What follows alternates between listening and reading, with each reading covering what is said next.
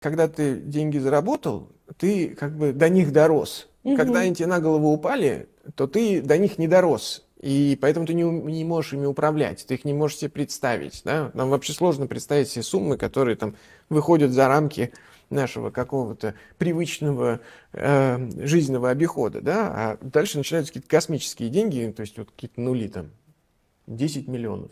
Сколько это? Много, мало, вот там. Если я скажу 50 рублей и Это 100 как рублей. квинтиллион даже. Да, я скажу там 50 рублей, 100 рублей. Много или мало? Ну, равно 10, лучше 100. Вот, да.